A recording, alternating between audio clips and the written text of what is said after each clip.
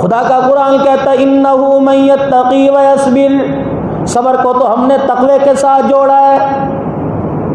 फरमाया, जब अल्लाह की तरफ़ से हालात आए, तेरी नमाज़ ना छूटी, तेरा रोज़ा ना टूटा, तेरी जक़ात अदा करने में कमी ना आई। फरमाया, उस पर सबर करके बैठ गया, हालात जैसे मर्ज़ी आ गए। फरमाया, इस सबर वाले के साथ अल्लाह की आसमानों से फ़ौर नकद मदद आ जाती है। जनाब यूसुफ सलाम ने सबर भी किया और तकवा भी किया। जुलेखा ने बड़े दाव पेच खेल दिए आपको अपनी तरफ़ मरगूब करने के, आपको अपनी तरफ़ रागिब करने के। कोई उसने हथकंडा ना छोड़ा, कोई उसने चाल ना छोड़ी। लेकिन यूसुफ सलाम तकवे के साथ अल्लाह की तरफ़ रुजू करते रहे और साथ साथ सबर करते रहे। नतीजा क्या निकला? जुलेखा को अल्लाह ने ताबे कर दिया। यूसुफ सलाम के भाइयों को अल्लाह ने मोहताज कर दिया है।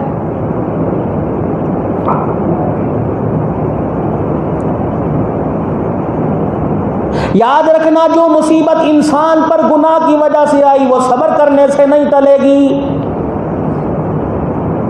रातें काली की दिन काले कर दिए। और चोरी चकारी का बाज़ार गर्म कर दिया, नाप तोल में कमी कर दी, फिर सबर करके बैठ गया। फरमाया, जो गुना इंसान के, अल्लाह अकबर, उसके हालात की वजह से जो गुना हुए, जिस पर वो गुना करने की वजह से हालात आए, याद रखना, वो सबर से गुना मस मसले हल नहीं होंगे, वो सबर से गुना माफ़ नहीं होंगे, बल्कि जब तक तोबा नहीं करेगा, सच्ची तोबा करके अल्लाह की तरफ़ तकवे परहेजगारी वाली ज़िंदगी इख्तियार नहीं करेगा। आसमानों से नकद खुदा की रहमत तेरे पर नहीं आएगी। इसीलिए उलामा ने फरमाया, एक तो गुनाह कर रहा है, उस पर बेहयाई का इरतकाब कर रहा है। मुझे ईमानदारी से बताओ, हमारे यहाँ मौजूदा फलसफा ये है, बेहया किसे कहते हैं जो बेहयाई के काम किसी के सामने करता है? यार तुझे शर्म नहीं आती, शर्म कर। फरमाया, बेहया वो आदमी नहीं है जो लोगों के सामने गुनाह करे।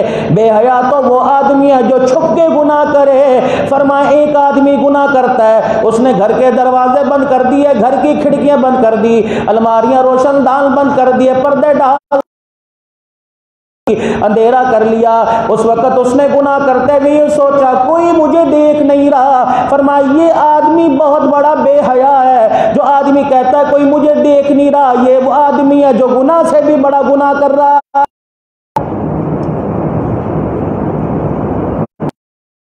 फिर समझो इस फलसफे को, बेहया आदमी वो नहीं जो लोगों के सामने गुना करे, लोगों के सामने बेहयाई की बातें करे, उसे तो खुदा की कसम अल्लाह इंसान मानने को रहमत की ज़ुबान से इंसान मानने को तैयार नहीं। बात गोल मोल करके जाऊँगा। एक आदमी बंद कमरे में अपनी बीवी से राजो न्याज की बात करे, अपनी बीवी के साथ रात गुजारे और सुबह दोस्तों में आके लोगों में बात करे। रात तो मुझे बड़ा मज़ा आया था। मैंने अपनी बीवी के साथ ये काम किया था। फरमाया, इसकी मिसाल उस गदे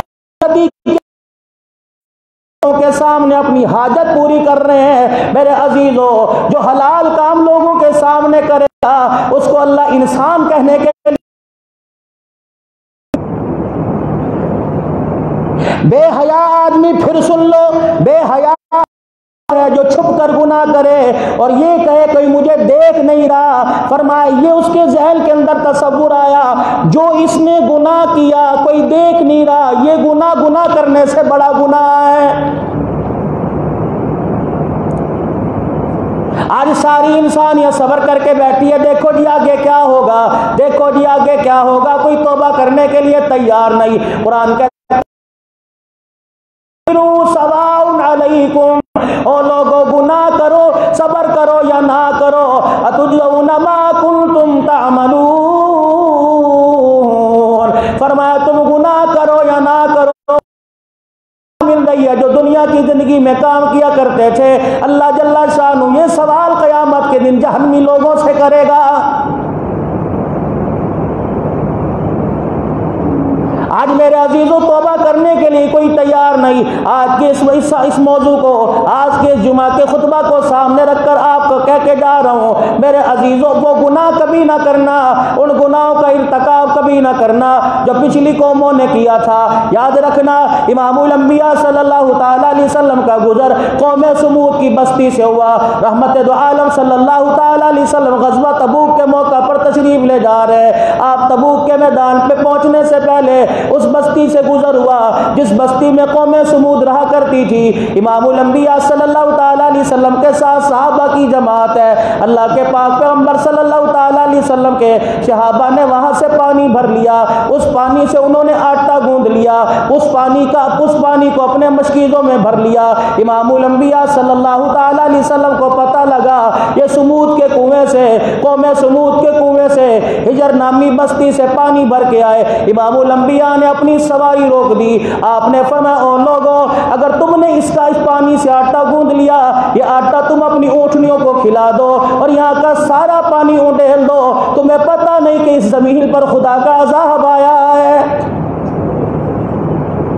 मोनजोदड़ो की सैर करने वालों, हड़प्पा की सैर करने वालों, मेरे अजीज़ों ठट्टा की सैर करने वालों। खुदाए पाक की कसम है, ये वो बस्तियाँ हैं जिनकी नाफरमानी पर खुदाए पाक ने इन बस्तियों को उलट के रख दिया।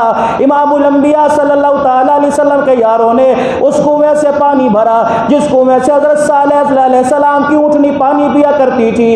इतनी बड़ी ऊँटनी थी, एक दिन उनकी चरागाहों से वो चरा करती, दूसरे दिन उस कौम के सारे मवेशी चरा करते एक दिन उन, उनके कुएँ से वो पानी पिया करती उसके अलावा उस कुएँ से कोई पानी ना पिया करता। अल्लाह गनी दूसरे दिन उनके मवेशी पानी पिया करते। साहबा इकराम ने उस कुएँ से पानी भरा। रहमत वाले नबी ने वो सारा पानी फेंक दिया और फिकवा दिया मस्किदें खाली करवा दिए। फरमा इसको इस बस्ती से रोते हुए अपनी सवारियों को तेज दौड़ाते हुए गुजरो कोई ऐसा ना हो कि खुदा का अजाब हमारे पर दोबारा ना आ जाए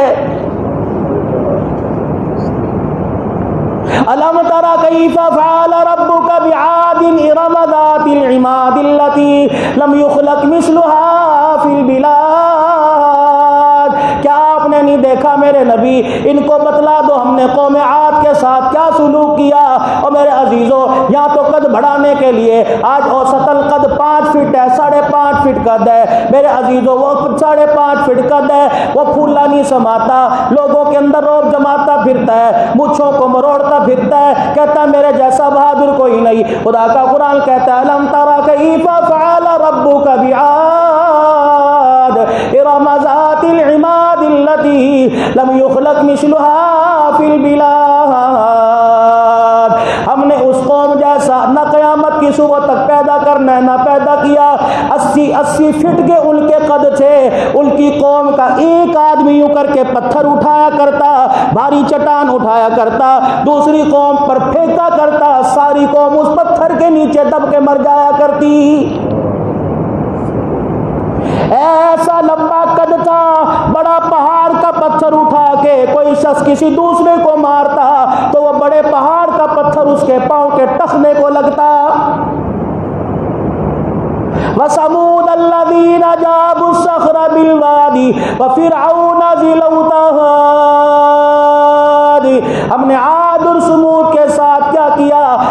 मेरा नबी ने फिर का किस्सा सुना। अल्लाह की इज़्ज़त की कसम है। अल्लाह ताला फरमा रहे हैं जब से मैंने कायनात बनाई, उस वक्त से लेकर फिर के ज़माने तक और फिर के ज़माने से लेकर क़्यामत की सुबह तक, सिवाय फिर के किसी ने खुदाई का दावा नहीं किया है। किसी को पानी की मौजों के हवाले कर दिया, किसी को हमने हवाओं के हवाले कर दिया। वो कौम आज जो अपने पैगंबर को कहा करती थी, ए पैगंबर हज़रत हूद सलाम से कहा करती, ए पैगंबर अपने रब का वादा ले गया, तेरे रब का वादा कब आएगा? हमारे पर अजाब कब आएगा?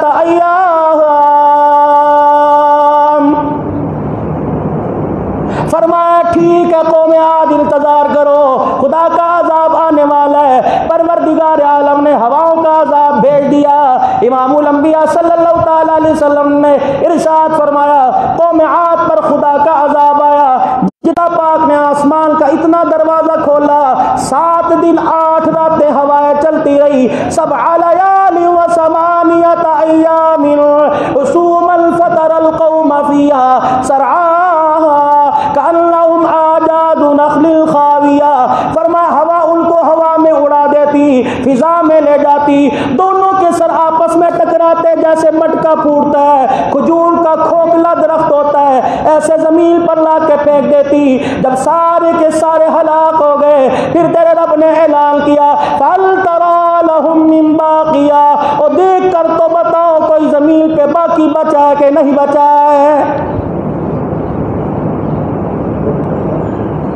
कौम समूद ने खुदा की नाफरमानी की। ये कौन से गुनाह थे जो पैगंबर की सरकशी कर रहे थे? अल्लाह की नाफरमानी कर रहे थे। इन्होंने खुदा की नाफरमानी की। जैसे आप आज हम कहते हैं, यार, अजाब आएगा, देखा जाएगा। कब्र में जाऊँगा, मुझे अपना भुगतना पड़ेगा। तो मेरी सिफारिश न करना। ये कौम अपने नबी से कहा करती थी। फरमाया, ठीक है, खुदा का अजाब आएगा। ये कौम अपने घरों के अंदर घुस गई। पैगंबर ने कहा सलाम सती अय्या तीन दिल के बाद अल्लाह का अजाब आएगा बुध के दिल पैगंबर ने उनसे कहा बुध की रात को उनके चेहरे जर्द हो गए जुमे रात के दिन उनके चेहरे काले हो गए जुमे का दिन आया, तीसरा दिन आया, खुदा का अजाब आया। बाद जगह कहते हैं इतवार के दिन खुदा का अजाब आया। अल्लाह अकबर, अल्लाह ने आसमान से फरिश्ते को उस कौम में भेजा। फरिश्ते ने खड़े होकर चीख मारी, सारी कौम के कलेजे फट गए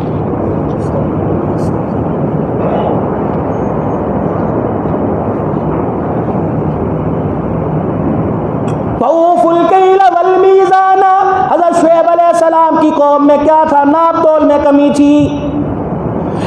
पेट्रोल पंप पे चले जाओ, वो भी बदयानत है। नापतोल के अंदर रेडी बानिया में तो नहीं मान पड़ता। किसी रेडी वाले को देख लो, सब्ज़ी तरकारी वाले को देख लो। मैं जर्नली बात करता हूँ, किसी का नाम नहीं लेता। कपड़े वाले को देख लो, जूते वाले को देख लो। वो चाहते मेरी दुकान से गाहक बच के ना जाए, उसके गले पे छुरी फिर जाए। खुदा पाक की कसम है, अगर किसी का दिल दुखाओ, ज़िम्मेदारी से जुमा के खुतबा में कह रहा हूँ, अगर किसी का दिल दुखाया, अगर किसी का हक मार लिया, दुनिया में माफ़ करवा लेना, दुनिया के अंदर माफ़ी मांग लेना। अगर उसे तेरे मरने की खबर चली गई और उसने ये कहा अच्छा जान छूट गई, फिर उसने आसमान की तरफ़ मुँह करके कहा, या अल्लाह, इसने मेरे साथ ये किया था। उसकी आँख से इतना सांसू निकला, अल्लाह की इज़्ज़त की कसम है, इतना सांसू तेरी कब्र पर खुदा के अजाब का अंगहरा बन के बरसेगा।